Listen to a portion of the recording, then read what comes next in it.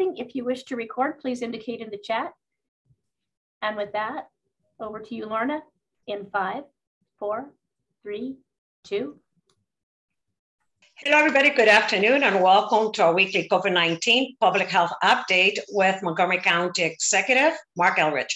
I'm Lorna Virgili, Hispanic Public Information Officer, and joining us today is Dr. James Bridgers, who is an acting Health Officer for the county, Dr. Earl Assistant Chief Administrative Officer, as well as Sean O'Donnell, who's Program Administrator Public Health Emergency Preparedness and Response for the Department of Health and Human Services. And also joining us from the Department of Health and Human Services is Dr. Raymond Crowell. And last but not least, Councilmember Craig Rice. Welcome. Thank you for joining us today. Members of the media, we will commence with a presentation uh, from the county executive and also from the council member. Then we'll open it up for Q&A for that particular topic and then move on with the COVID-19 public health update. And with that, good afternoon to you, Mr. County Executive. The floor is yours. Thank you. Um, so thank you everybody for joining us today. Um, before we start with our update, um, I just want to acknowledge the passing of uh, Sidney Kramer. Um, Sidney worked for the residents of Montgomery County as a council member and a state senator before he became Montgomery County's third executive. And he served as executive from 1986 to 1990. His energy, passion, and willingness to speak frankly on important issues like education, business policy, and mental health were a part of his contributions to this community. He'll also be remembered as a strong advocate for seniors. My thoughts are with Sidney's children, Miriam, Rona, and Ben Kramer, who have continued their father's legacy of public service, as well as to his grandchildren. May he rest in peace after serving his community so well for so long. I want to take a moment to comment on the shooting um, in Buffalo this weekend.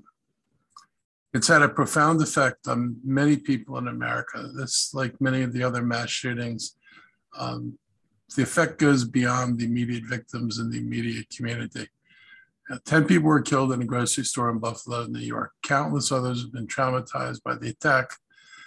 It not only targeted the innocent, but was also motivated by hate. The police discovered that the man they've arrested for the crime drove hours to get to that supermarket because he wanted to target the Black community. And that was the purpose of his trip to find the most impact that he could possibly have. It's the kind of detail that prompted President Joe Biden to call the shooting terrorism when he visited Buffalo on Tuesday. And it is terrorism. When you kill people randomly, um, and you do it out of hate, it leaves everybody very insecure about what world are we living in. People should be able to feel free and safe about moving when they're coming to moving about in their communities. And this is the kind of event that just strikes fear into people. And we can't allow this to be tolerated or become normalized. Uh, replacement theory, which motivated this person, is pure garbage. There's no replacement of anyone planned. And if people are concerned about replacement theory, the last replacement event in North America was when Native people were replaced by Europeans. That's real replacement. Along with the demonization of critical race theory, otherwise known as history to most of us, these attacks are an effort to build on our efforts to build an inclusive and unbiased community where all are valued and all are safe. We agree with the president when he calls on the nation to give hate no safe harbor Montgomery County will provide no safe haven for hate, and we will aggressively pursue and prosecute perpetrators of hate crimes. During the pandemic and before it, Montgomery County has seen its share of hate crimes. There is never a good excuse to target any group, whether it be Asian Americans, Hispanics, the LGBTQ community, Muslims, African Americans, or anybody else. The Montgomery County State's Attorney's Office has launched an initiative to make it easier for victims of hate crimes to come forward and report these incidents, but sadly, we know that many will not. We have links to the county website that could help identify what a hate crime is under state law and what to do, do if you believe you've witnessed one or experienced one. Let's keep what happened in Buffalo in mind as we move forward and remember that hate has no home in Montgomery County. On a happier note, I'm pleased to be joined today by Councilmember Craig Rice so we can discuss an exciting new opening. Craig and I were proud to be there this past weekend to launch Ignite Hub at Montgomery College in Rockville. As of Monday, reservations are now being taken for kids, teens, and adults to begin using this new facility for information technology, coding, and other lessons that will help us adapt to a changing world and be ready to lead the way forward. This is an amazing opportunity for people to learn about coding, to learn about um, what can what you can do with it, and it's going to inspire, you know, more people. When I was there, I was, you know, I saw programs that some of the students had already created um, that had actual, you know, real value um, that would help people do things as they maneuver this increasingly electronic world. So it's a very exciting place. Montgomery County has many partners to thank for the bringing Ignite online, including Montgomery College, MCPS, and Montgomery County Economic Development Corporation. Um, and we're very, very fortunate to be partnering with Apple on this project. Apple is donating most of the equipment, which makes up the labs and the learning space for the Ignite Hub. Craig was really instrumental in helping bring this all together and, and actually to continue working on it through COVID and everything else to make sure that it happened. His work on behalf of Montgomery County on broadband issues paved the way for all of us to benefit. Not only is Craig making a difference here in Montgomery County, but across the nation. During his role on the National Association of Counties, NACO, on the board of directors, Craig chairs the Human Services and Education Policy Steering Committee and also served as co-chair for NACO's National Broadband Task Force to bridge the digital divide. The work we're doing here um, and that Craig is sharing with our peer counties, large and small, urban and rural. Uh, we're very fortunate to have him working with us on this critical issue, and I'm going to now give him an opportunity to talk a little bit about it because you know you really played a major role in making this happen. Then we'll come back to the COVID update. So, Craig. Well, thank you very much, Mr. County Executive. And I really want to thank you for your support as well.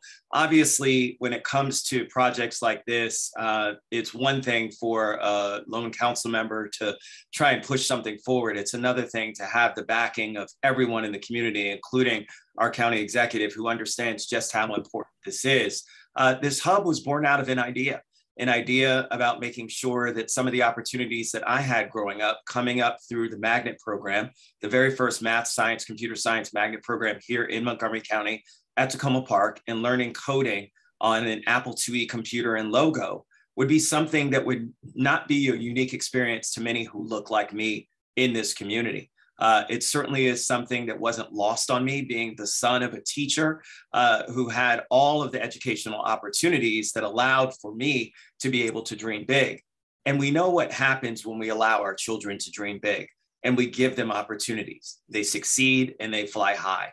And so it really was something where that was the impetus for this Ignite Hub, working with Apple, with Montgomery County Public Schools, with Montgomery College, with the Montgomery County Economic Development uh, Corporation to really come together to say, how can we break this uh, cycle of people of color and of lower socioeconomic status, oftentimes not being involved in technological pathways?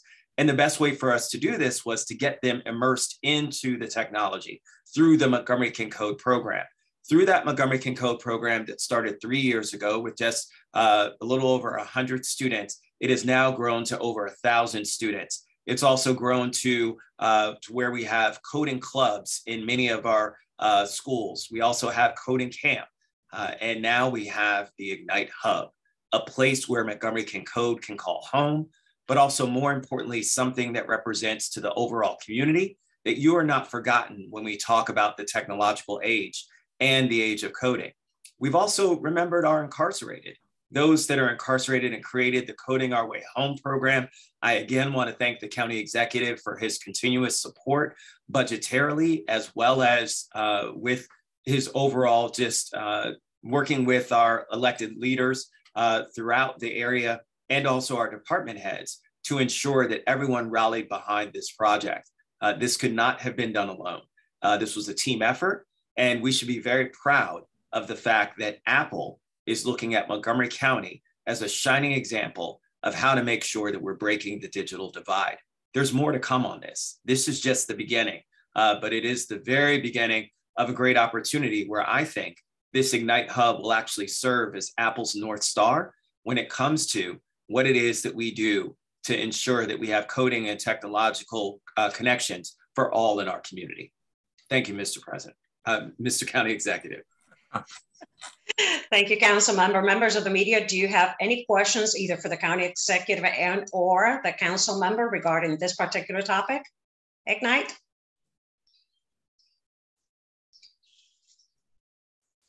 Just giving you a minute. No? Well, one, yes. One very quickly, I just wanted to chime in on one more piece of it. So uh, on last Monday, I was at uh, the White House with the president and vice president in the Rose Garden as they announced the broadband affordable connectivity uh, program's new iteration. And I just hope that all of the media report on this. I just did an interview this morning with Radio Dia uh, in Espanol uh, to make sure that all of our Spanish speaking uh, members of the community are briefed on this very important iteration. What it does is it's uh, an agreement with over 20 of our largest internet service providers that actually has them giving uh, service at 100 megabits per second upload and download. That is an incredibly fast speed and will uh, really help a lot of folks in the community remain connected. Now, that $30 is actually then offset by the federal government subsidy uh, as long as they are eligible for free or reduced meals, SNAP, WIC, EBT, and the like. We need to make sure that all of our residents who are eligible are signing up for this very important program. Some of them have internet connectivity now and are paying exorbitant prices.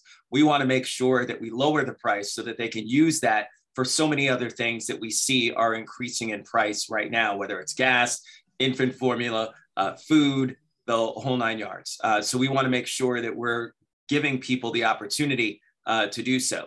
The website is www.getinternet.gov. Again, www.getinternet.gov.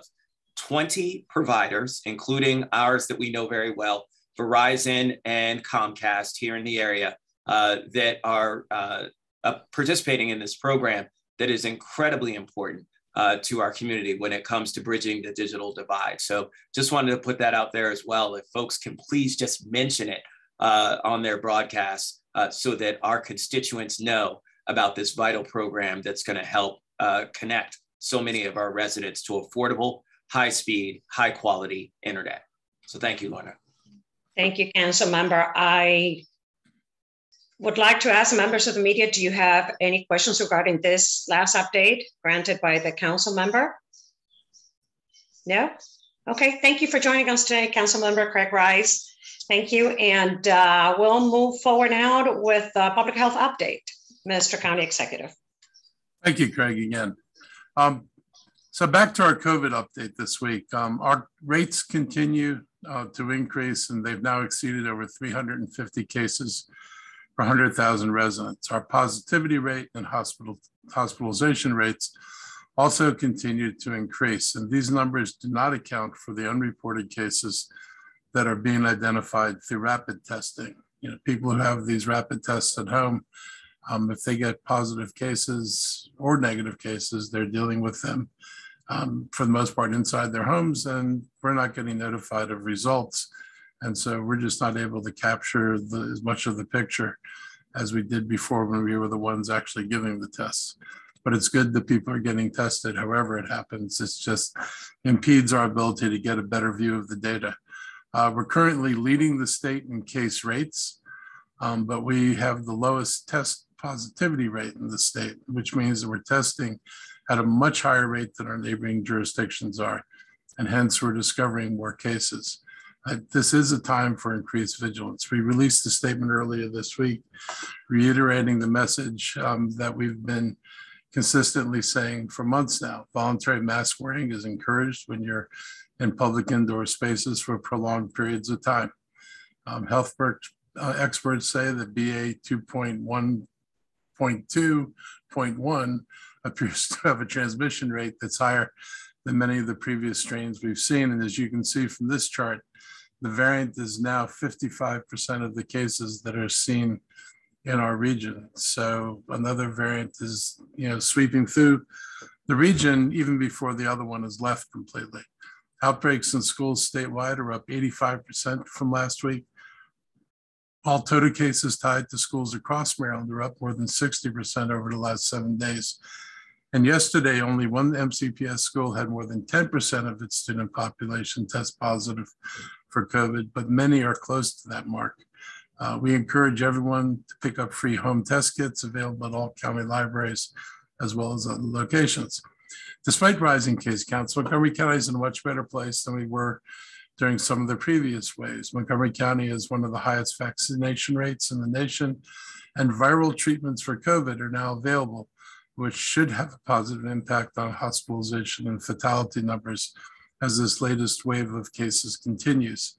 Uh, our messages to parents is to keep your kids and yourselves up to date on vaccinations. If the time has come to get a booster shot, please do it.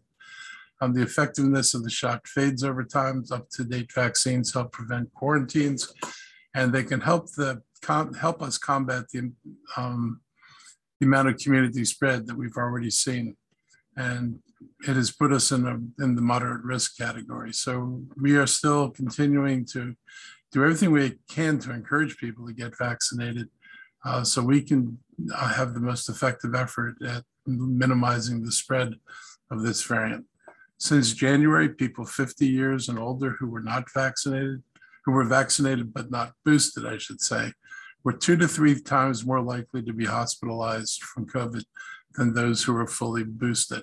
So there is a difference that the booster makes. We can see it in our hospitalization rates. Um, so again, please, if you're not boosted yet, get boosted. Just yesterday, the FDA approved Pfizer's request for a COVID booster shot for kids between five and or five and up, and we expect CDC and the Maryland Department of Health approval in the next few days. The county is going to be ready to take advantage of that challenge just as we have with COVID testing and other rounds of immunization. We don't want to reach the high category again. We don't want to see any more of our friends and our neighbors worry about the loved ones because of this virus. And frankly, we don't want to have to limit occupancy of events or occupancy of buildings. Um, we would like not to have to shut things down. Uh, so we know how effective that can be. But we also know that if we do masking right and we do it consistently, uh, we can avoid going there. So uh, I encourage people um, to do everything you can to keep us on the safest track possible. Uh, finally, I want to acknowledge that this is both National Police Week and EMS Week. I'm very grateful and thankful to the efforts of all first responders who are out working 24 hours a day, every every day, every week. And this year's is very special for MCPD, which is celebrating its 100th anniversary. Last weekend, they held a community day event at the fairgrounds that attracted thousands of people who were able to meet and engage with our officers. I'm glad that I was able to stop by and see for myself the positive engagement that they were having with people in this community. I'm going to turn this over now to Dr. Um, Stoddard and Sean for their updates.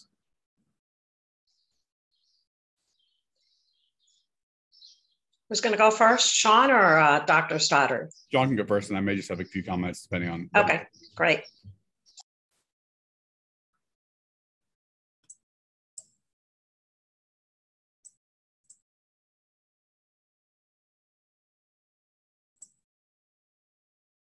Sorry, I, I, needed to unmute myself before I shared my screen. I couldn't find the unmute.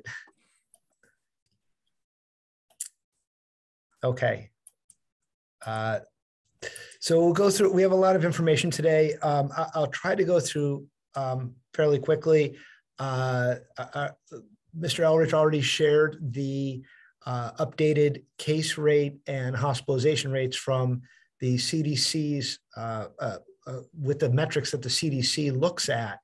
so what we'd like to do is sh share today some of the guidance that comes from the CDC and comes from the local health department about what that means because we're in, in medium. We've been in medium now for uh, over a week, and we just want to reiterate um, that it's very important, uh, as the county executive said, to stay up to date with your COVID 19 vaccines. These are really making a, a big difference in uh, the seriousness of illness related uh, if, if you happen to contract COVID. So very important to stay up to date.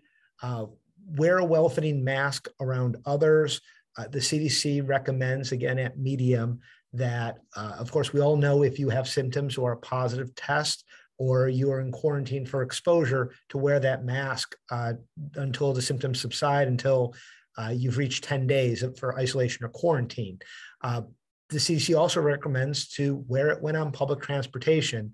It's uh, it's not only courteous to do that, but it really can help to um, keep people safe. You don't know who might be at high risk who's on that public transportation with you. So please wear a mask right now when we're in this high transmission or medium community level uh, and on public transportation. And additionally, as our, our, as Dr. Bridgers has, has said, um, and as we're strongly recommending from um, public health, wear masks when you're in those congregate indoor spaces um, with limited social distancing and ventilation. It again can really uh, help to protect not only you, but the other folks in the, those spaces. So again, these are the recommendations from public health, um, consistent with the CDC guidance. Again, reminding people to get tested if you have symptoms or um, are alerted that you've been exposed. If uh, a contact lets you know that they're positive, uh, please get tested. You know, we want to identify the cases and stop the transmissions. If you're returning from travel or you've been to a large gathering, that's a good time to, to do testing as well. And if you have a positive test result, just be reminded uh, that universal contact tracing is not happening. Not every single person with a positive result is going to get a call. Um, many people are doing rapid tests, and those results are not always reported. Uh, so, eh, you know, they, there's no way for us to contact you, uh, even if you're at high risk. So it is incumbent on you to let your, your close contacts know if you have a positive result. And finally, if you're at high risk for severe illness from COVID 19, uh, again, it's recommended you wear a mask when you're in those indoor public settings. And we're also uh, recommending talk to your healthcare provider before you have a positive test. Talk to your healthcare provider to determine if you're a good candidate for one of the therapeutic uh, treatments. That way, you'll know if you have a positive test, you'll already know um, what you might be looking for and whether to contact your provider then or possibly go to a test to treat location or another site. Uh, so just to follow up on those therapeutics, uh, we were in conversation with our state partners yesterday. They've assured us that the supply of these therapeutics is plentiful. Um, there is lots of Paxlovid that have come in to uh, Maryland and providers have a mechanism uh, to look up where the, where the where that supply of Paxlovid is. So when they write a prescription, these are prescription therapeutics. When they write a prescription, they can uh, again know where to send their um, their patients to get that prescription filled. Uh, the eligibility for this, just reminding folks, is you, you, need to be symptomatic, have a positive test, and be within the five days of the onset of symptoms. Again, that Paxlovid is just for those who are 12 and up, and you need to weigh at least 40 uh, kilograms. Um, and Paxlovid is being recommended for those at risk for progression to severe COVID-19. So it's those, those standard underlying conditions that put you at greater risk, including age, um, and potentially if, if, you are not uh, up to date on, on vaccinations and with those risk categories. Uh, the reason we're, we're, we're trying to spread the word on this is the, the data has shown that Paxlovid can help to have an 88% reduction in hospitalization and death. Um, and that again, may be a reason why we're seeing fewer people end up in hospitals now, in addition to the high vaccination rates. Uh, there are some other medications that uh, have been approved and um, that providers may consider and may be a good fit. And again, there's Evusheld, which is the uh, the pre-exposure prophylaxis for those who are moderate or severely immunocompromised over 12, uh, that they can get that um, that monoclonal antibody, and that will help protect them um, in, in ways that uh, vaccines are not fully protecting every um, moderate or severely immunocompromised individuals. They're still recommended to get the vaccines, but this is an, another um, option to, to increase protection. Uh, the county has this morning updated its uh, its web pages to have a therapeutics page now. Uh, we include information about uh, where to go for test to treat if you're in those high risk categories. Um, and uh, you, you can potentially have a very uh, quick or expedited way to get tested if it comes back positive.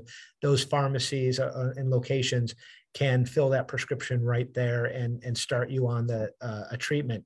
Um, additionally, if you don't have a healthcare provider that can um, can screen you and write a prescription, there is an uh, an online or a um, a phone service you can call and they will free of charge review your information and determine if you're a candidate as well. So we'll continue to update this the web page um, with additional information about therapeutics and build this out uh, again to try to connect our population with this really important piece of the COVID response.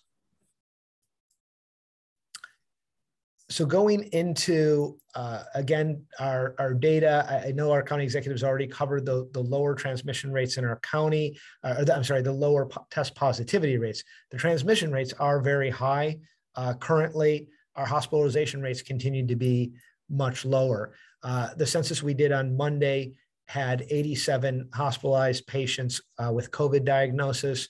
Um, we saw a, a, a modest increase in the acute care beds at our, our primary hospitals from 40 to 47 and two additional ICU patients. Again, these increases are much, much lower than what we've seen um, compared to the, the transmission rates that we're looking at. Uh, the biggest increase has been an additional 20 patients who were transferred to the alternate care site in Takoma Park, the Adventist um, Hospital alternate care site. And again, these patients, um, some of which were transferred from county hospitals, some from um, other county hospital outside of our county hospitals. Uh, but that is the biggest increase in, in the hospitalized patients currently.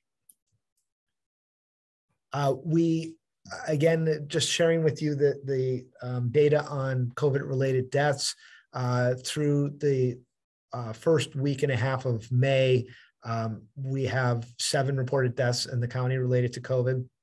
This is a slight trend upwards from the previous month and is likely reflecting again that increase in cases that we've seen uh, over uh, April and um, unfortunately uh, resulting in, in a um, slightly more than a half dozen deaths uh, to date. Again, this is this data can take a while to come in and um, we, we are uh, hoping that this will continue to stay low. Uh, obviously, compared to the, the previous Omicron spike um, seen there in January, um, a much lower death rate than, than we saw with that previous spike. Um, and we're, we're, again, hoping that it remains low. Uh, just to, to reiterate, um, of course, uh, the, the lower hospitalization and death rates for those who are staying up to date on their vaccinations um, we're really hoping that our, our residents continue to hear this and continue to come out uh, to get those boosters. Uh, one thing that we'll talk about, I know we mentioned in previous weeks, the um, how this wave is, has been going a bit longer than um, than we than our initial models predicted. Uh, as you can see from the from the variant proportions that have been uh, uh, identified through the CDC for our region, you see the growing number of uh, the BA2.12 strain. Um, as uh, Dr. Stoddard mentioned last week uh, in relation to these questions, that there are multiple variants going on now, and that could be complicating this. Uh, when we look at our data um, from some of the other states, uh, you can see how many of those states, uh, especially we're looking at some of the New England ones here, um, many of those states had a, a, gradual increase and then with a, a sharp um, a sharp trend up over recent weeks.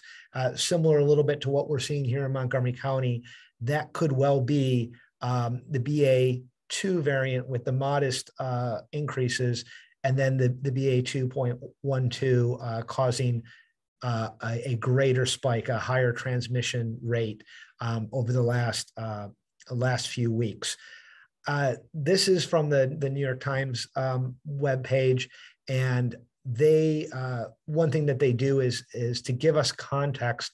They compare the the current cases, hospitalizations, and deaths to uh, the previous high point, not not inclusive of the the this winter's Omicron, but the previous high point, which was last winter. And for context, you can see in New York State, for example, their cases are at 70% of that previous uh, peak, but their hospitalizations are only at 34% of the previous peak, and their their deaths are only at 11%. So you can see that this wave is this provides us some good context of how this wave is playing out with uh, high with high number of cases, but much lower percentage of hospitalizations and deaths. And um, we've included the Maryland uh, data here as well. Um, you know, it's it's currently uh, lower than some of these New England uh, territories, um, and it's again we're we're predicting we may continue to go up for another week or two um, with our with our case transmissions. Um, again, we're tracking. We do think that uh, potentially New York and some of the New England areas uh, may be a little bit ahead of us in the in the the BA2 and BA2.12 um, transmissions. So um, hopefully this will give us some idea of of when our transmissions may break. Uh, looking at the the global uh, cases, we have the U.S. Country nationwide, we are up 31% in cases from the previous seven days, um, whereas much of the rest of the world is is seeing um, uh, mostly declines uh, overall in in the overall COVID transmissions. One chart that um, we've been looking at and we wanted to share with you this week. Uh, this is within Montgomery County. Again, it's a ratio uh, of the cases to of the new cases to the hospital census. So just uh, keep in mind new cases. Uh, there's going to be one data point for each new case, uh, whereas the hospital census could each uh, week could include people from the previous week, the same person from the previous week. But it's still helpful to look at how that ratio played out. Of course, at the very beginning of this, um, where there was very limited amount of testing, it's not surprising that uh, the ratio is much higher of hospitalizations to the amount of testing that was done um, uh, and, and positives that were identified. But you can see both from the, the, the BA1 spike in December and January, and now even more so with the current um, wave, that, that hospitalization rate is much lower. Um, the, the orange line being the hospitals corresponds to the the the numbers on the right side of this chart, um, whereas the case rates correspond to the left side of the chart.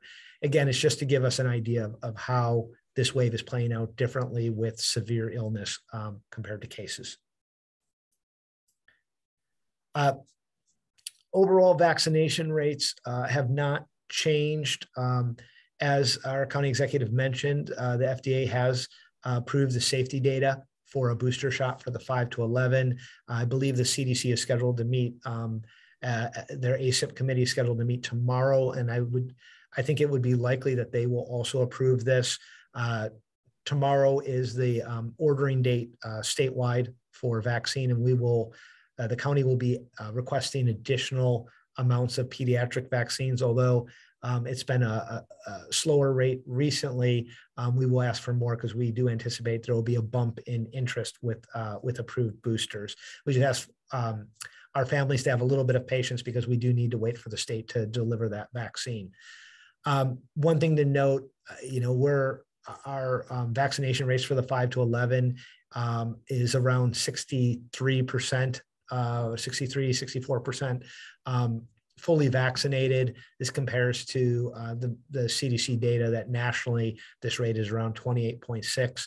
We're very encouraged that our parents are bringing uh, children out to pr- protect them, um, help prevent uh, not only illness and, or shorten illness um, within that age group, uh, but um, also uh, potentially prevent other subsequent uh, uh, impacts, um, potentially long COVID and other things that we don't uh, fully have data on yet, and, and how COVID affects uh, these populations.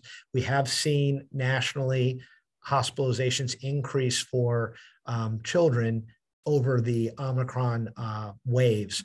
Um, unfortunately, it, it ha- is having a little bit more of an impact. Still not a, a high impact, but, but more of an impact than the previous waves.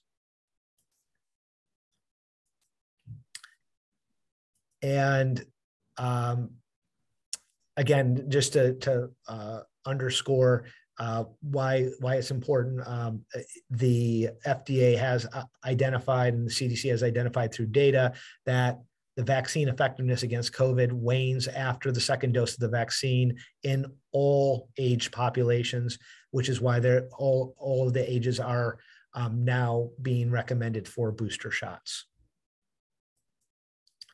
Uh, to share with you what we're seeing at our, our county testing sites, um, we have, uh, for the second week in a row, we've seen about a 20% increase in volume for people coming out to, to get PCR testing, uh, reminding folks that we they can also pick up and do their own PCR testing, um, register it online, and then drop it back off at, um, at several of the rec, uh, recreation centers and um, at the Dennis Avenue Health Center.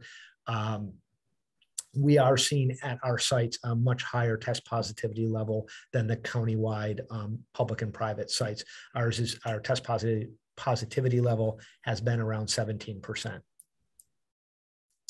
Uh, reminding folks that they can um, report their home tests.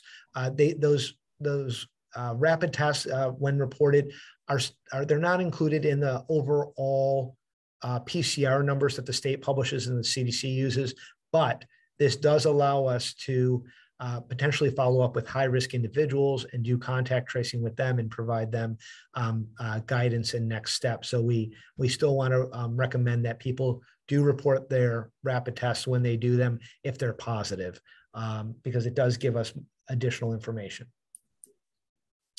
Um, and then just reminding folks, I know we are in a period of again high transmission um, in our county, and so uh, rapid test kits are still free, still available at our libraries, as are um, medical grade masks. We're reminding folks you can come out and pick those up if they need them. Uh, additionally, the um, the federal program prov providing mailing rapid test kits to people's homes has been renewed. I believe you can um, request up to eight uh, rapid tests this go around to have mailed to your home. So just reminding folks of, of that availability. Uh, at this point, I'd like to turn it over to Dr. Stoddard for additional comments. Just one additional. Uh, so, as we announced earlier this month, Maggie Nightingale Library in Poolesville will be opening this week, actually on Saturday. And I wanted to confirm that they will additionally have rapid tests as the other libraries do. So that'll offer another opportunity for rapid tests for the up county. So I want to make sure that was out there publicly, confirm that with libraries yesterday. So when you when you visit Maggie Nightingale starting this weekend, they'll also you know finish after the renovation they'll have prep test kits there. Other than that, I think that's all I wanted to include as well. Okay, thank you, gentlemen. Let's open it up for the Q&A portion of the presentation. And first up is Dan Schere from uh, Bethesda Beat. Good afternoon, Dan. Hi, um, this question, um, either Dr. Crowel and, and, the county executive can uh, answer as well, but I just wanted to ask about um, the, the uh, you know, the number of uh, homicides and overall incidents of violent crime that we've seen this year to date, um, and just wanted to hear um, the main concerns that you guys have and what factors you think are behind this steady rise, particularly when it comes to um, violence between teens, um, going off of the, the recent homicides uh, involving teens in Germantown. Okay, so Dan, I'll, I'll start out that and I'll let uh, the county executive join in uh, as he wishes. Uh, the it is we are watching it with and, and working it through with with the, the, police department and with MCPS. We have we have uh, we share the the concern about those numbers.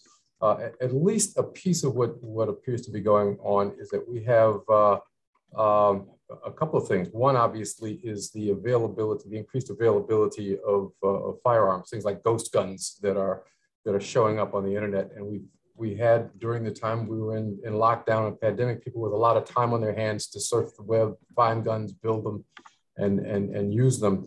And of course, the challenge is that once you've got a weapon, um, it increases the potential, and you're in, in a situation that increases the potential that you will use that weapon, um, whether it's for uh, vendettas or for revenge or for, for other criminal activities. Um, the, the other piece that we are seeing across the county and, and across the country to some extent is um, our, our, our, young people have been in lockdown like all of us, have been isolated, have been working through these virtual media. And in these kind of media, I can turn off my camera, I can turn off my microphone, I can say what I want to say, and there's nothing, there's no real consequence. But now we're back in person with each other, and the risk of saying something inappropriate or having an inappropriate interaction that turns that turns sour and, and ends up uh, with violence or potentially deadly, um, it seems to be escalating. Um, you know, I think our, our work with with with uh, Montgomery County Police and with MCPS has been around trying to find ways that we can help uh, our, our, our young people uh, reacclimate to being back in person with each other, to spend time in ways that are, that are socially appropriate, to, to resolve their conflicts in a more peaceful way. Uh, we've had our teams out in the in the streets and in the community, and the law enforcement has, I think, also been out and about trying to find ways to promote peace and decrease the, the, the risk of violence and, and uh, in our, especially in our young population.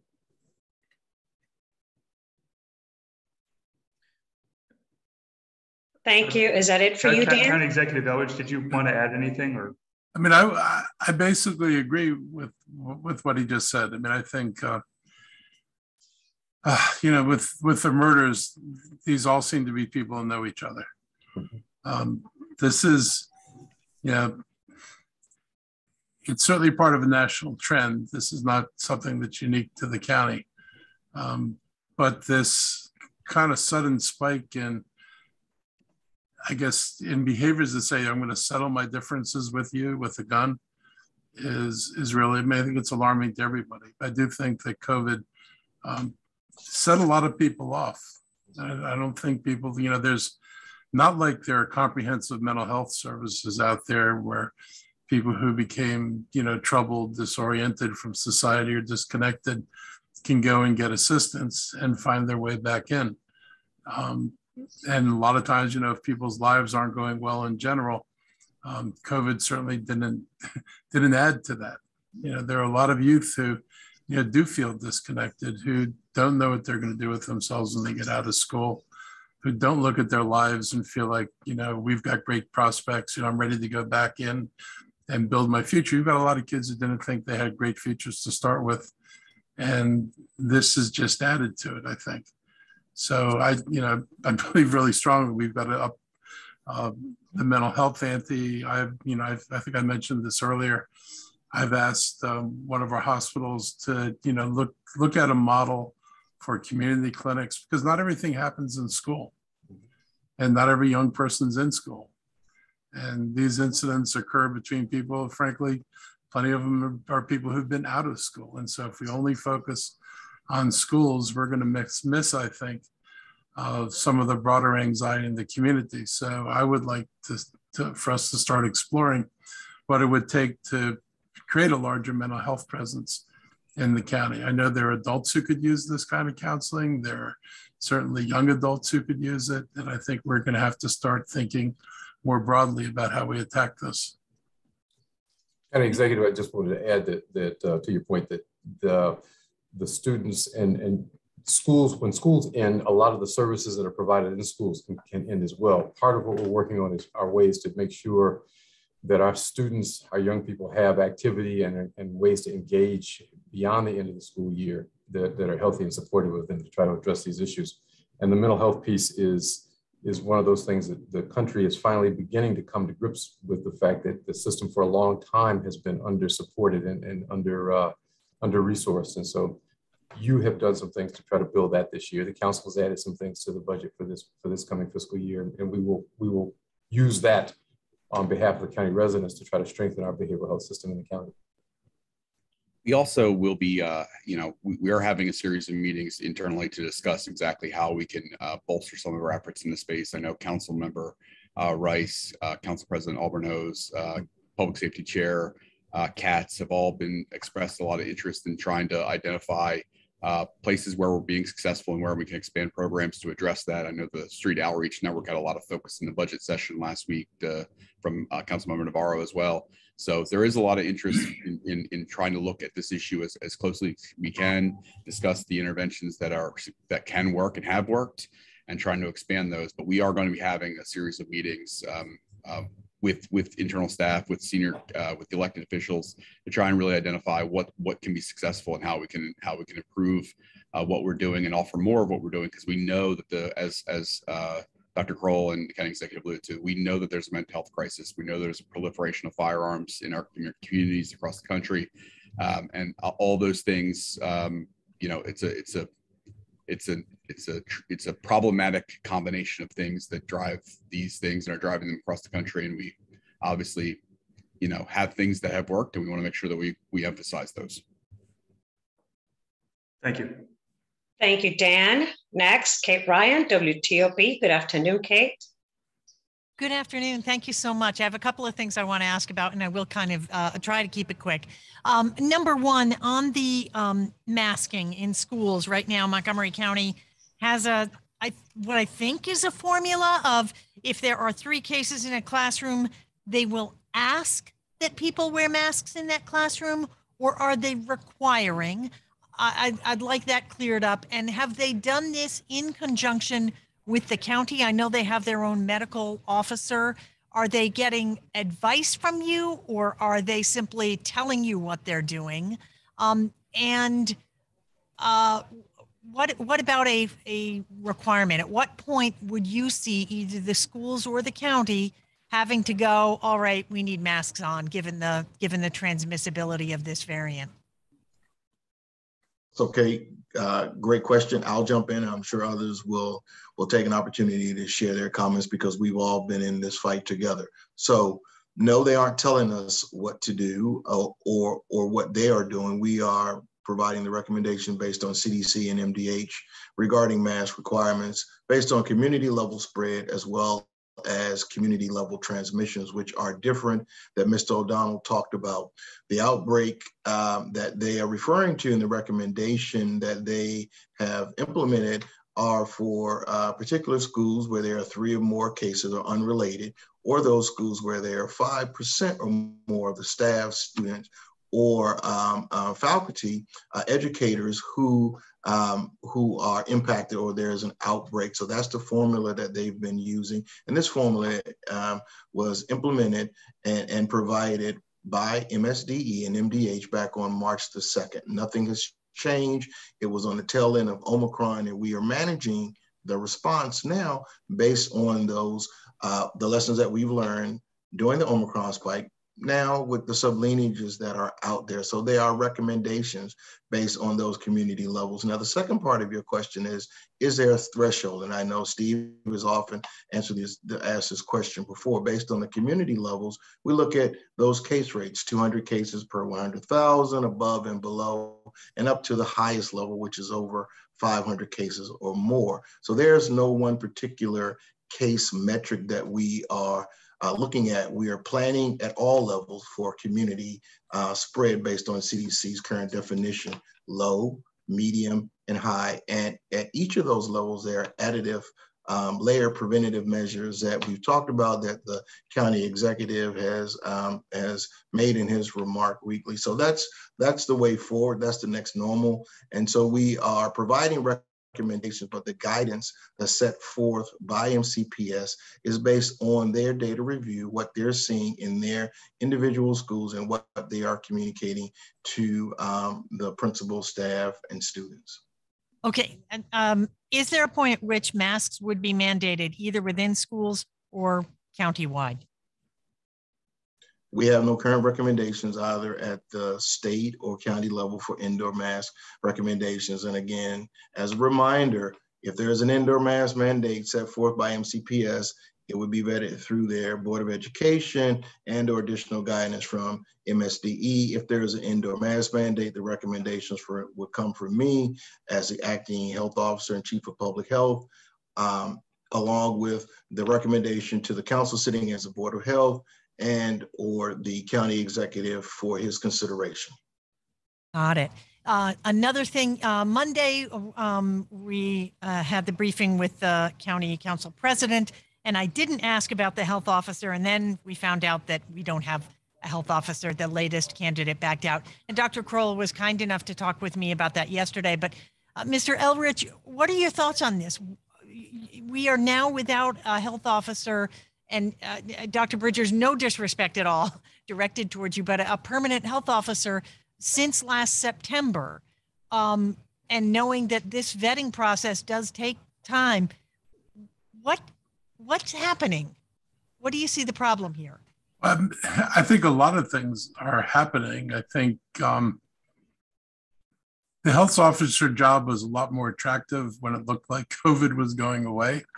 Um, as COVID's intensified and people anticipate a return to the kind of, uh, I'd say, public situation that was less than positive, you know, during the height of COVID, I think this makes the job a lot less appealing. I think, you know, we're finding we're in competition with a lot of people trying to hire health officers. Um, that does that doesn't help either. And if then we find more of them going into the private sector, where frankly they can make policies within a company or within an organization that don't put them in, at risk of public exposure or making public policies. So I think there's kind of like a hesitancy to step into something which is, you know, can be highly controversial. And, and that's that's a problem. There are there's a shortage of health officers more generally beyond, you know, beyond Montgomery County. And I just think we're seeing um, a part of it. Got it. And then uh, if Mr. Uh, Councilmember Rice is still with us, um, I did have a question. I know you are very much in touch with the community that you serve. Uh, and seeing as the violence that we've seen among these very young teens, we're talking 14 and 15 now. We're not talking 18 year olds or 19 year olds, which is horrifying enough. Um, what are community members in your community telling you about what they're seeing and what else needs to be done? Well, thank you, Kate, for the question. And I think that, again, when we look at uh, some of the solutions that are there, it involves more than just government. Uh, society has got to play a role in taking back their neighborhoods and their communities as well.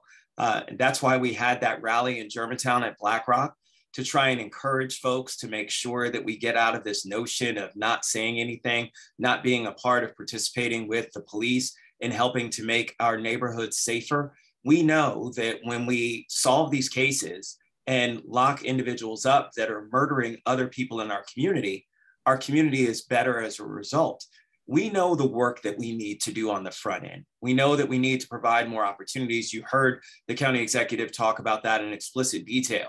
Uh, the Kirwan uh, recommendations with the blueprint for education, CTE pathways, all the things that we've invested in, as well as mental health in schools. But as you heard from the county executive as well, not all of our kids are connected to our schools. Unfortunately, some of them are disconnected from our school systems. And so we're going to have to double down on some of the things that we've been doing, working with our street outreach network, working with positive youth development, working with our Department of Recreation to provide more opportunities. That's why this high level meeting needs to happen and it's going to happen next week because we need to throw everything at the wall on this one. Uh, this is where what we don't want is this to become a situation that's out of control. It is quite concerning right now, but it is not out of control. And we have an opportunity to stave this off because before it gets there. But what folks are saying in the community is they want to see us put forth action. And we are also saying to them that we need you to put forth action as well. This is an all hands on deck approach to really making sure that we're trying to address this to make sure that all of our residents feel safer and have better and secure access to great opportunities for their future, for themselves, their children, and their families as a whole. Thank you very much. Thanks, everyone. Hey, can I just add something to that? I mean, uh, Craig, you, you make a really good point. I mean, there are a lot of adults in this community who have more contact with children in school than the county government ever will. And the conditions that are in the community are not products of things the county government did, and frankly, they're not products of things that the school system did. And this is going to require everybody to think about what are your roles in the community and how is everybody else talking to the children that are in their lives and in their community if if we think this is all going to come down to the government having a silver bullet that I can put, you know, the right number of police in the right place and this will disappear, that's not going to happen.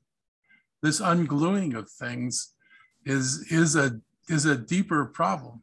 And people are going to have to figure out, you know, what is the role of the community groups, faith groups, other groups in terms of trying to create a sense of, you know, belonging and sense of possibility and kids. And I was a school teacher, and You know, I heard kids say things at the age of 10 that were actually, you know, pretty frightening to me because when they were talking about where they saw themselves going, um, they didn't see themselves going anywhere. I had some kids who honestly, you know, well, I won't even go into what they said.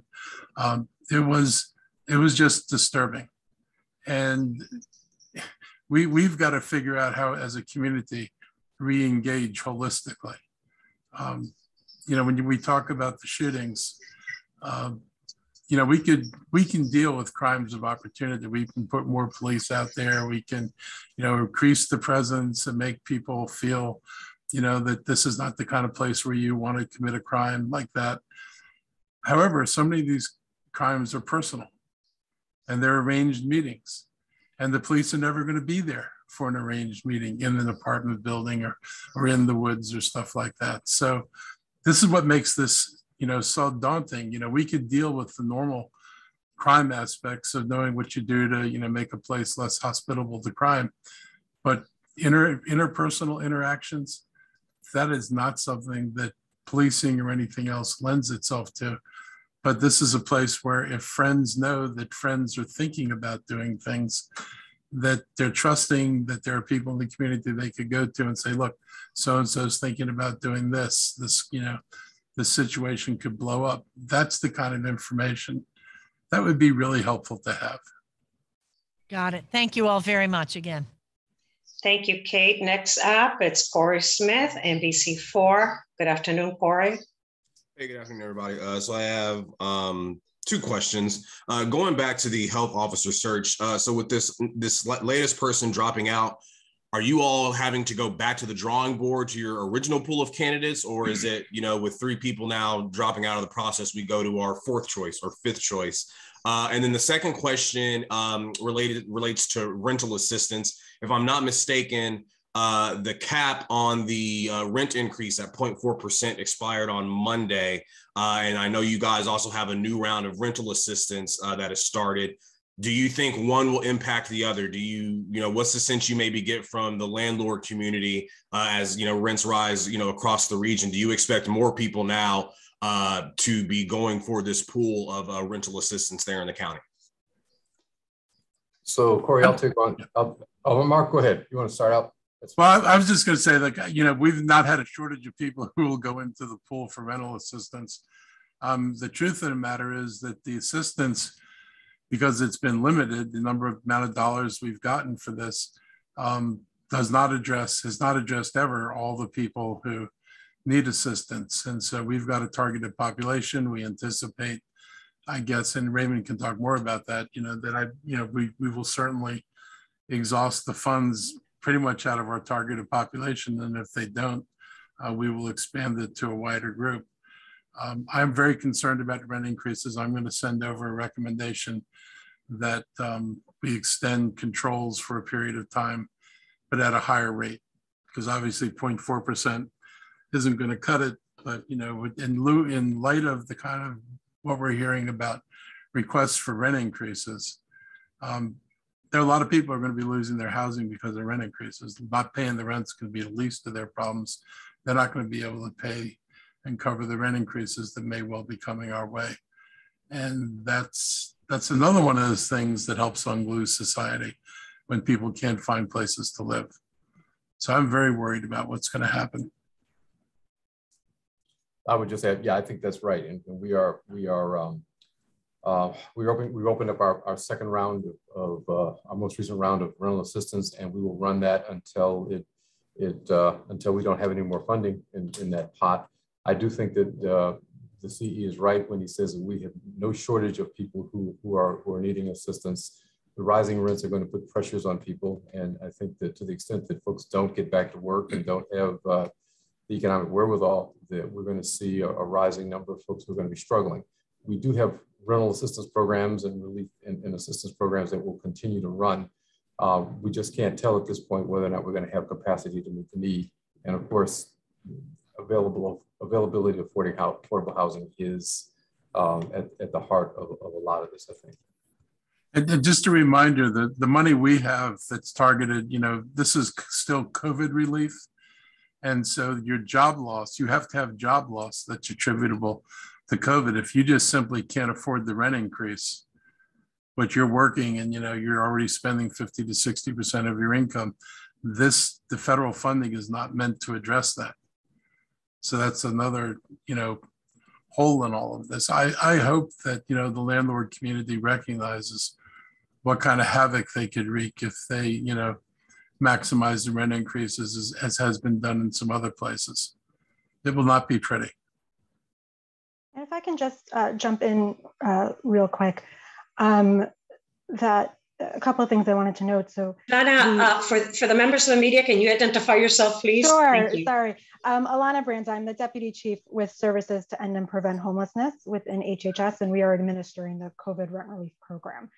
Um, so just to touch on a couple of quick things, um, Corey, related to your question.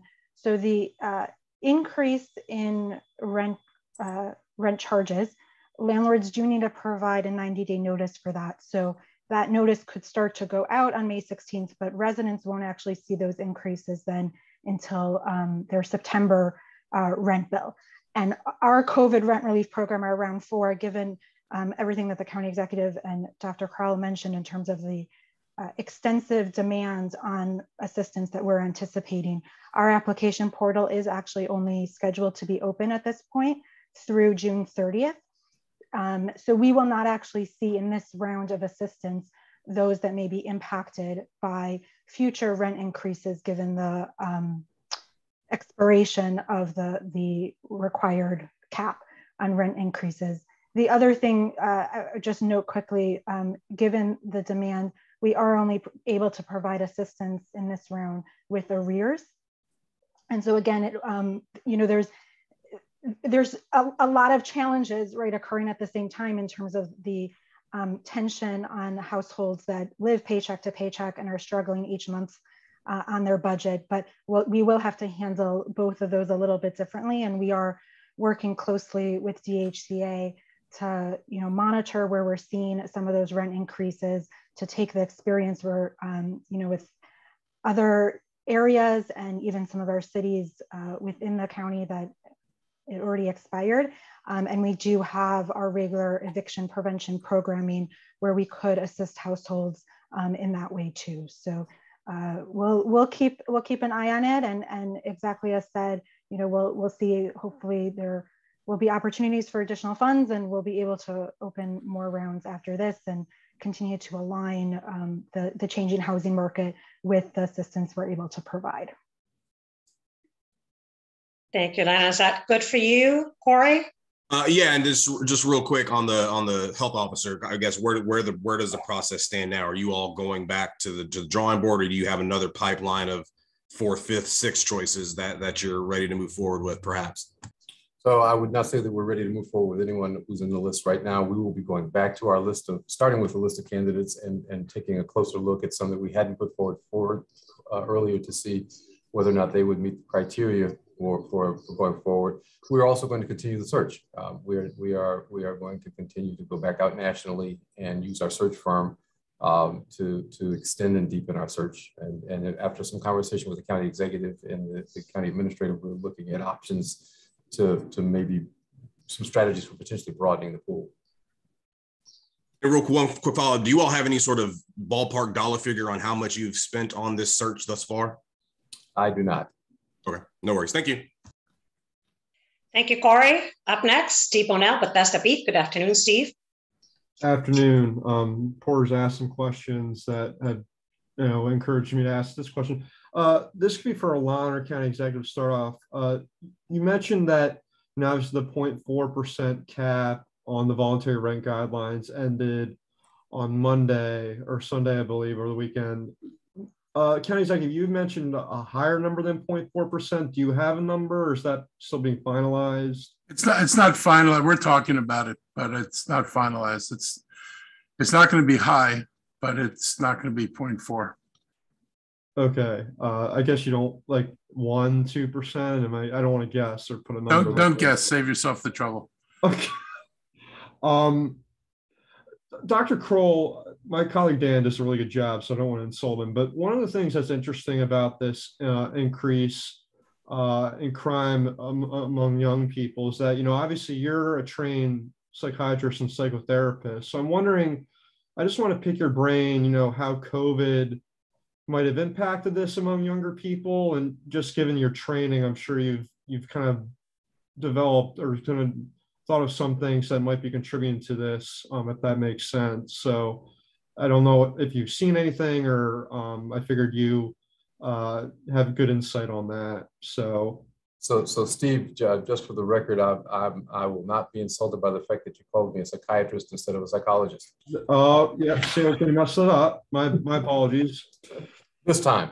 Um, um, but the, the, yeah, you know, this is something I have been watching over the last, working, working through over the last two years. I'm not aware of any particular uh, research that's directly connected to COVID around this, other than to say that, that there are uh, in a small number of cases, uh, long COVID can have some impacts on cognitive and emotional um, balance of, of, people. So we don't know yet whether or not that is a factor in any of this, in any of this violence. So it would be it would be speculative on my part to, to, to, to assert that.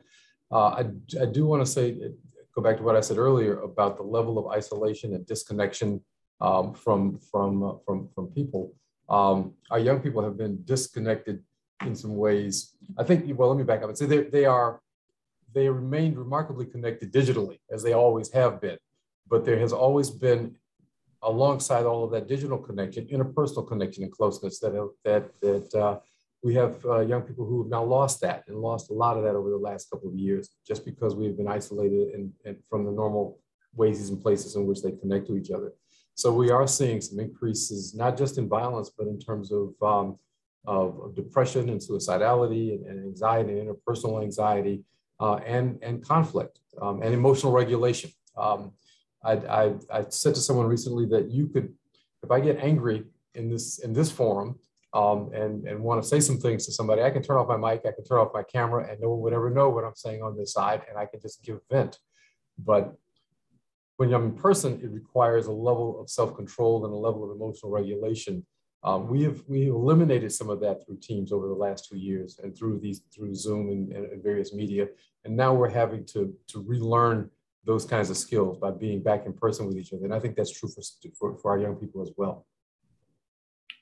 Well, thanks for that. Uh, shifting gears here, I think Sean addressed this, and perhaps anyone on the health team can address this too about kind of the update on boosters for five to 11 year olds. Can you all just re- reiterate. So there's a final approval coming tomorrow, and then or hopefully coming tomorrow. And I just want to know the county's kind of stance on rolling those boosters out. Is that going to happen in the schools like it did initially, or I just wanted more information on that as we kind of get close here to that final approval. Steve, I, I can answer that. Um, yeah, so the we we know that ACIP's meeting tomorrow. Um, I, I, don't have their full agenda, but I assume they're gonna they're gonna review this. Uh, I know the FDA did not even go to a committee to to review the the booster. They've already looked. Both groups have already looked at the safety data for for this vaccine for this age group. It was they're basically just looking at efficacy of giving a booster, and um, FDA felt it, it should be should happen. I don't see any reason why the CDC wouldn't agree and the state has been very quick to update their um, their uh, vaccine uh, guidance and, and orders. Uh, so I think that'll all happen pretty quickly. The, the part that's going to take us a little bit is um, we have been trying to uh, avoid wasting vaccine through expiration or other things. So we have a very limited supply at the moment, um, a, a, couple hundred doses uh, that we've scheduled for our clinics. We've been doing pediatric vaccines um, at the county clinics almost exclusively on the weekends because that matches up the best with the with parents and children's mutual availability to come out uh, to get them uh, their first two shots. Um, we we do have a couple sites. We continue to work with MCPS, and um, I know we'll be at some schools this weekend. Um, we'll probably exhaust the available vaccine uh, during that. I know we'll be at uh, Gaithersburg, I believe, on on Sunday, Gaither Gaithersburg uh, High School, I think, or middle school. Um, in any event, we will we will circle back with MCPS and we'll likely uh, continue that partnership, continue doing uh, the booster shots through their through their school systems. it's been so, so helpful uh, to enable us to get to neighborhoods that we're not routinely in and get to the populations um, who aren't able to get to our sites. So yes, we we do plan to to work with the schools on this. To clarify, if everything's green lighted, like you said, is the dosages it's kind of getting in the weeds, but this weekend you could start at schools and other sites offering boosters, or will that be next week and beyond? Well, we we can. It'll be the same vaccine. Um, I assume I'm, I should not make that assumption. The reason we wait for the CDC is they'll tell us if it's the same dose. I, I'm I'm thinking it will likely be the same dose, and so we we just have to let our clinicians know that th- this is now approved and do it uh, behind the scenes. Um, sometimes the the state and, and their partners who work on the medical records, they um, they update the system to record that a booster is now being done for that age group. But all that aside, we'll be ready to go immediately. The, the question is when will we get an additional supply of, of vaccine so we can do a larger number? Um, reminding folks that uh, we don't have to wait for a new formulary. So private providers who have the pediatric vaccine, they can start giving it as well. Um, so we're a little bit, it's a little bit different setting than when it was first authorized and we all had to wait for it to come in. Um, we just need to wait for a, a resupply to handle the uh, expected increased demand um, now that boosters are recommended. So Steve, just to add uh, to, to Sean's uh, um, in-depth um, response, we also uh, wait to receive the clinical um, guidance from uh, the Maryland Department of Health as we've done before.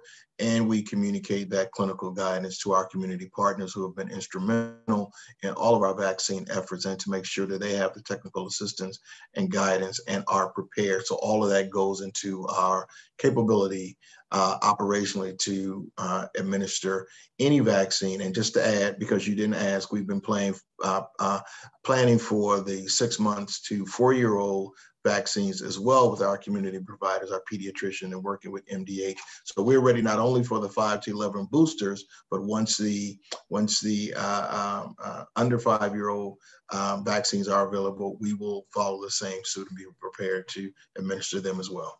Dr. Bridgers, you stole my next question about the lower age group. I mean, I can look at the headlines too, but are we close to that? I know that was kind of anticipated sooner and then there was a delay and the last read I heard, Steve, was June. Um, and I know Dr. Stoddard and I have been tracking it back and forth, uh, kind of doing our own quasi estim- uh, estimates on when they will be available. So we're still tracking, I think mid June. And one of the interesting data points Sean went over is I think 63 to 64% of the 5 to 11 year olds in the county are, are fully vaccinated. That's a high number but I and correct me, you can all correct me if I'm wrong, but that's probably lower than you know seniors and other age groups that you all kind of analyze here. What have you been hearing, or kind of how you kind of analyze that about why that number might be lower uh, than other age groups that have come forward to get the vaccine? You know, this is this is a national trend. It's even been a trend in our county, even with very high vaccination rates each subsequent group that is authorized, it's a it's a lower turnout. Um, some of that is likely because of lower uh, risk for serious illness, and so lower perceived risk um, may mean that you know there's there's uh, less urgency to, to get the vaccine. Um, but you know our, our, highest vaccinated group are seniors, um, and and so on down the line. Um, you know, there's also it, it could be that many of these individuals have gotten COVID and they they don't think they need to get a vaccine. Um, what we've seen from uh, national peer-reviewed uh, evaluations, the vaccine provides a um, a greater immunity than uh, simply contracting COVID, and so that's why we strongly recommend the vaccine. Um, and the and the boosters too, because both both uh, immunities wane over time. Um, so I think that that's some of what it is. You know, the I think it was um, I, I forget which uh, which news agency reported at one point uh, they looked at all of the C- all of the counties across the CDC uh, across the nation through CDC data, and they found that more than half of the counties in America had less than 10% vaccination of that age group, which is just astounding. Um, very, very different from the parents. So it's it's uh, parents deciding not to to vaccinate their children or not seeing an urgency.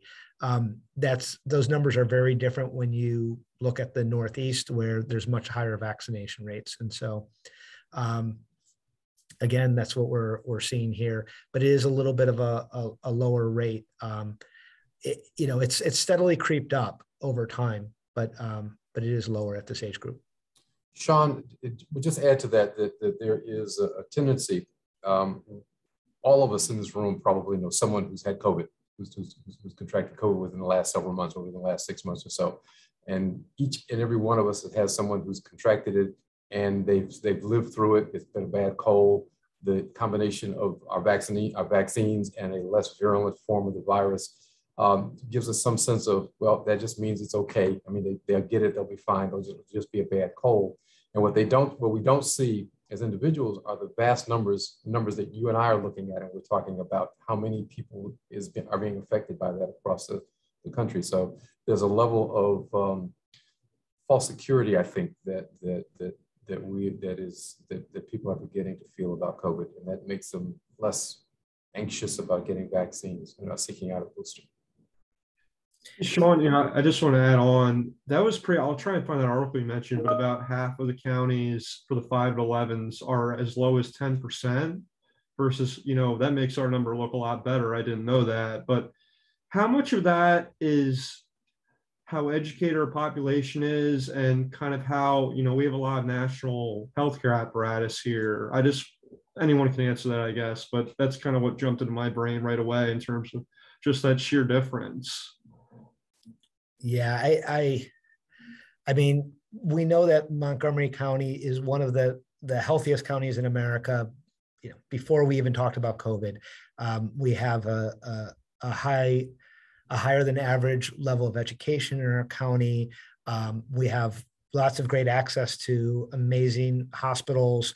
Um, we just we have a lot of infrastructure here. And we have a lot of people who believe in taking care of their health and living a healthy lifestyle. Um, this is on average. And so that, that brings it all up.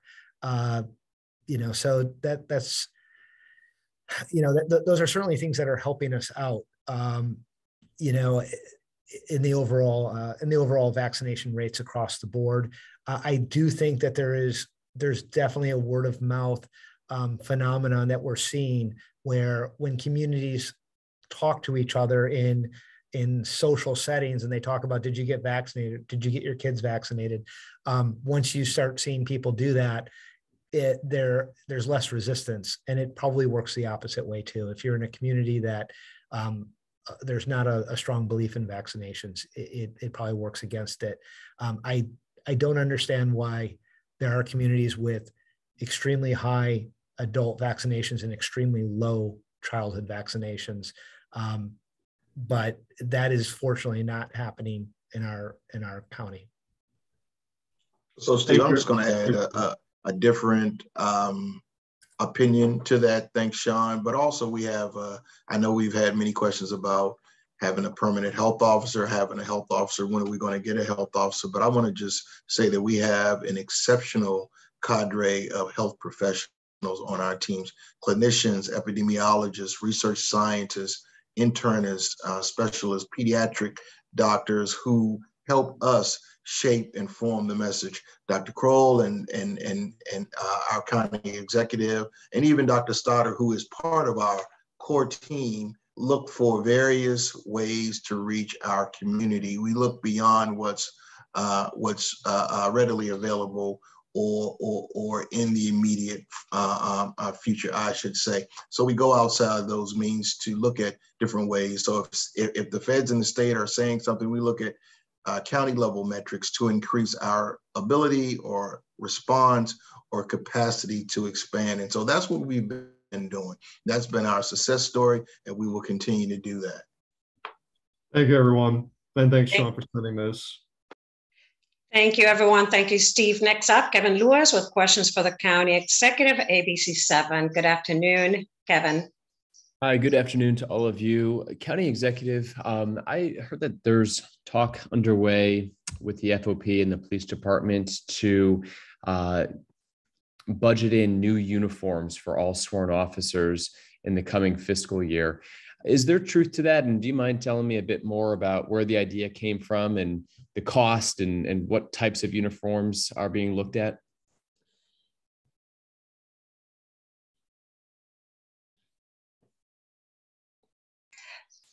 Please, Mr. County Executive, please unmute. Sorry about that. Somebody asked me a question. You asked me about uniforms? Yeah, I understand that there's uh, ongoing uh, conversation uh, between No, uh, it's true. government. So, you know, one of the things in kind of reimagining police was reimagining the look of police. And there's a pretty broad consensus that the black uniforms are intimidating and they're meant to be intimidating. And we don't want people to appear to be intimidating. And so we've been discussing with, um, with the department and with the union, um, alternate colors uh, for, for police uniforms. And they're still in the process of deciding on a color for the, uh, for the rank and file police and as well as uh, colors for the management. And when they settle on colors, then we'll be changing the uniforms over to, to different colors. Is there a department that comes to mind that uh, you're modeling after that has taken um, this reimagining approach where uh, a uniform appears to be less intimidating to the public? Uh, I can't say, I can't think of a department per se, but I know departments have gone, have changed uniforms and some departments have gone to lighter uniforms than, than they had in the past. I know this issue was raised actually with us originally by FOP, who thought that a change of uniform would be a good idea. Um, I happen to agree with it. I know that people in the community had similar thoughts. So I think it's, it's something that we, we ought to do and that will help take some of the intimidation out of the appearance of an officer. Roughly speaking, how much would this cost to uh, provide new uniforms to all 12, 1300 sworn officers? Um, depends how we roll it out and how we phase it in. You know, we replace uniforms anyway, so it's not like we don't buy uniforms. These would be just different colored uniforms. Um, but I, you know, we're still working on it. So when they know what it's going to look like, I'm sure we'll get pricing and we'll move down that road. Millions or more in the hundreds of thousands? I know there's different I've ways. got, I've got, over, I've got over a thousand officers. So I'm guessing you could, you know, having uniforms for everybody is going to put us um, over a million dollars. I have flashbacks just picturing, you know, the uniforms during the sniper, uh, know, attacks from 2002. I believe those were more like lighter color, tan, desert Yeah. colored uniforms. Um, do you know when the department went to the darker current look? I honestly don't know when they did that, but I'm, I'm glad you can remember back to what they were wearing during the sniper because I cannot. I do remember the lighter uniforms, but I don't associate it with that.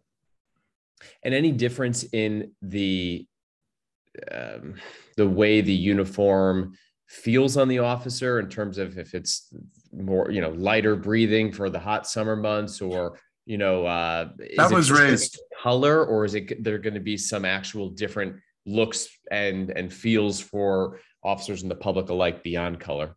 So I'll just say, you know, I haven't, I'm not the one judging this. This is something that we leave to the, the department and to the officers. So I haven't got involved in the beauty contest of, of all that stuff. Um, but, the, but one of the points about being a lighter color is that a black uniform is hot.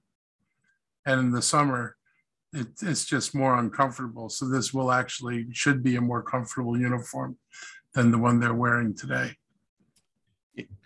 I'll just add in, Kevin, there's a joint health and safety committee that with the police and the, uh, the, you know, the management and- the FOP that reviews all the, all the different materials they invested in, they're in process investigating several different options. But yes, is meant to be more light and breathable more, uh, you know, obviously the amount of equipment equipment that they have to carry has changed over time. Has to make sure that the uh, the new alternatives also offer different options for, you know, we've talked about pepper ball guns and and other equipment like that to make sure that that'll all work in, in this new environment. Body cameras were not as uh, prevalent when the original um, uniforms were developed uh, or the conversions that had occurred. So there's lots of new uh, elements of technology and equipment that officers have, we want to make sure that the uniform supports that mission as well.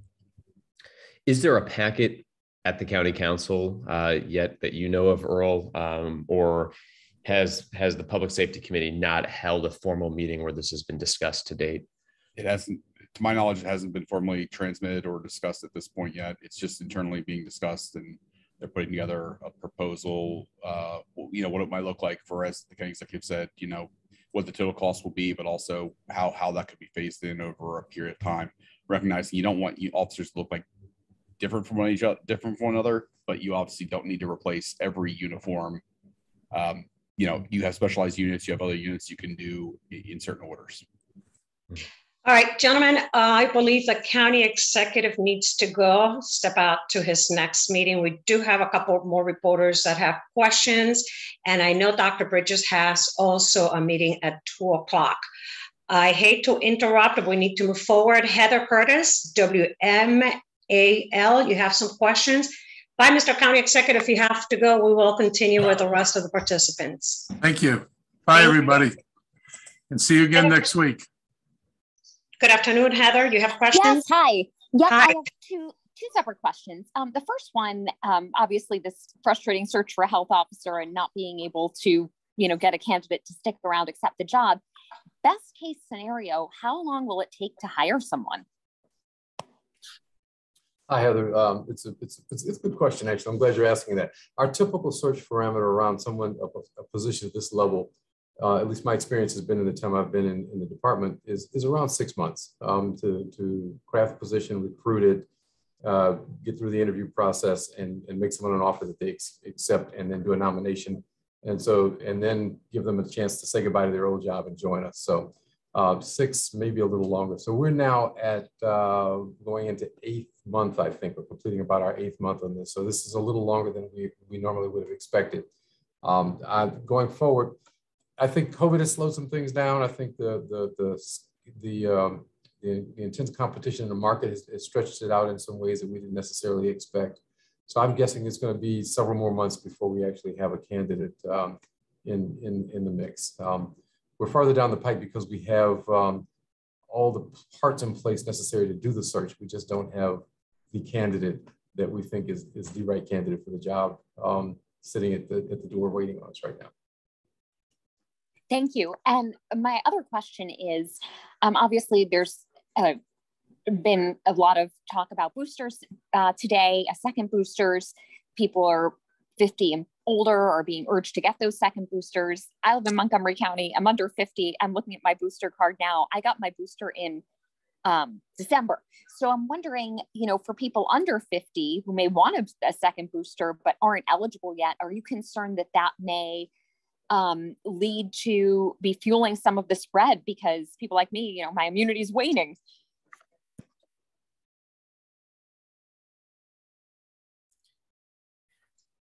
Well, I, you know, I, I, I would have to defer on this one to the the, the reviews at FDA and, and CDC. They they are getting data from the vaccine manufacturers, and they're looking at it at all age ranges. Um, and uh, the declining immunity it, uh, has had when they've looked at this previously, they've seen that it declines more quickly with with the older populations, which is why they've um, they've been the higher priority for the boosters. Uh, we don't have access to that individual, you know, that that um, research data uh, um, and how it's impacting the younger populations. Um, so we would have to defer to their judgment on this uh, because we just don't have have information about it. Um, what we have seen in our county, though, uh, is obviously um, those infections are are higher, um, you know, at this point during the phase during during this um, variant, but uh, the serious illness is not really um, occurring, and so it that that may be supporting the you know the current strategies for boosters. Um, but you know if they if they come back and say, you know, no, we're we're going to recommend boosters now for this age group, um, we certainly would, uh, you know, again defer to their judgment with the data that they're they're looking at. Thank you so much. And and, just to, just yep. to follow on with that, there are mm-hmm. other groups that have that do have um, uh, more concerns about the immunity, and they are recommended for for boosters at younger ages, and including our immunocompromised populations. Thank you. Thank you, Heather. Thank you, Kevin. I forgot to thank you. We needed to get the county executive to his next meeting. We have one more follow-up question. Jack Moore from WTOP. Good afternoon, Jack. Good afternoon. Thank you so much. I know it's been a long briefing today. Uh, returning to the um, topic of COVID in schools, I, I understand that DHHS is providing recommendations to schools on when masks should be worn based on CDC guidance and MSDE guidance. But could you briefly, I haven't had enough coffee today, can you just briefly, in a nutshell, what are the recommendations for wearing a mask in school? So, uh, great question, Jack. Um, couple of couple of comments. So when we so when we look at masking in school, we look at those outbreaks that are three or more in a classroom, and we also look at the percentage of outbreaks for unrelated cases in a school setting, which includes students, teachers, and staff. And so we work with our communicable disease and epidemiology team to identify those outbreaks through the MDH uh, uh, REDCap system, which is a system where they report the number of outbreaks as reported through PCR or viral tests. Now, we also work with MCPS to recommend those guidance. We want to mitigate and suppress any any further expo exposure, excuse me. So we look at masking options and recommendations. We know that mask, indoor wearing mask where there are tight spaces less than um, um, six feet or three feet um, um may uh, uh, suppress those those outbreak cases. So those are the recommendations that we have provided to MCPS regarding their school community. They know their school community, and we work synergistically to provide the best practice for them. So that's where we are. That guidance was an interim guidance that was set forth back on March the 2nd in collaboration with the Maryland State Department of Education and the Maryland Department of Health. And a quick follow up. Sorry, uh, Dr. Bridgers, earlier you mentioned a 5% threshold. Mm-hmm. So where does that factor in? So the 5% threshold is a percentage that's based on the data that we receive from the Maryland Department of Health. So when we receive those data, we do the contact tracing, we follow up with MCPS, we identify those school settings, we identify those those those teachers, those students, and the staff. We make those recommendations to isolate if it's a positive case, if quarantine quarantine is, is necessary for those who are unvaccinated and or other options that we continue to explore. One option could be a test to stay, but we are following up with the Maryland Department of Education to see if all of those relevant layer preventative measures are in place. So that 5% number specifically is in uh, based on the guidance that we receive from MSDE and MDH. Because I see on the MCPS COVID dashboard, there's probably about a dozen schools that are above the 5% threshold. And MCPS, I believe, told us yesterday only one school has is doing masking school wide. So I'm trying to figure out the disconnect there. So we provide the data based on outbreak. We follow up with MCPS regarding the information that we receive from the Maryland Department of Health about those outbreaks.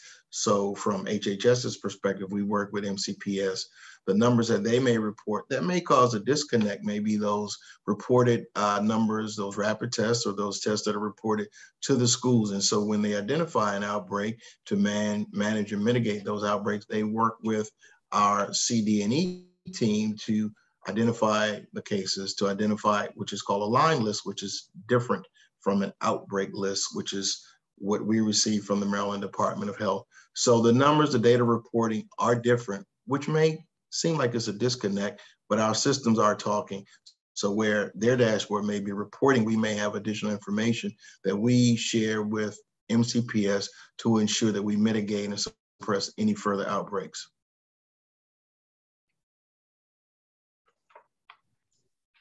Is that good? Thank you. Thank you, Jack. Uh, thank you, everybody. I do not see any more questions from members of uh, the media coming going once, going twice. All right, I guess that's it for today. Thank you for joining us. Thank you, Council Member Craig Rice, for being our guest today. And uh, we'll see you next week. Stay safe. Have a great afternoon. Bye-bye. Safe, everyone.